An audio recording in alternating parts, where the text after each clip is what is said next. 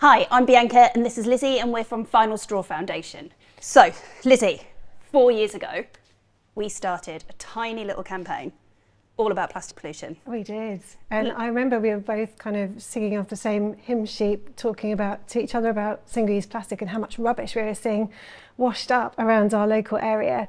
Because we're right on the south coast, aren't we? And it's sort of, we were seeing it every time we went out walking. So we thought, let's start up this little campaign and do some beach cleans. Yeah, so it was a simple idea, wasn't it, of we're going to go in to talk to some schools, talking to local businesses, seeing if they can remove some single-use plastics from their lives, and running a couple of beach cleans. Yeah. And that and was it that was it, wasn't it? Just ballooned, didn't it, from there? And we had so much interest from our local community. It was really so kind of oh, just incredible feeling yeah, when people really got behind it.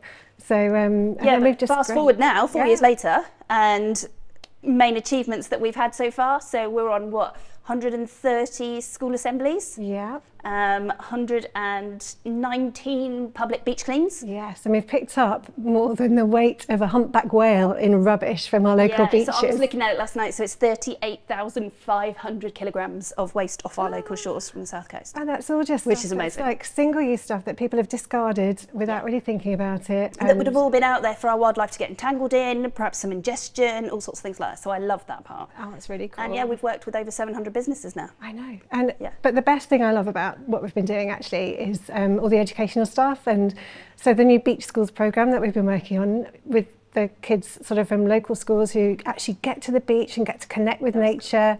And it's such an important side of what we do, isn't it? That getting kids to it have really that connection yeah, so that they sure. actually feel like they have some ownership and really want to help our environment. Yeah, I never saw us starting beach schools and running all of that stuff and it was just kind of that natural progression as to where it went. So it's been amazing and we've got so many schools interested. We're well booked up all the way to next summer. I know, it's amazing. So we're, um, yeah, onwards and upwards from here really and. I think for next year our focus is going to be to continue our education isn't it and yes. expand that even further yeah for sure keep on with the beach cleans because they're always popular yeah, um, I mean, we've had thousands of volunteers so far. Yeah, yeah. So that's really good. It is amazing. Yeah, um, and it's so nice getting all the people and getting the families together. And also, I really want to focus more on our eco clubs and get all the local kids together and see what changes they could make. So that would be really good. Awesome. Well, people can always help by coming along to our visit to visit our website, can't they? So it's um, finalstrawfoundation.org.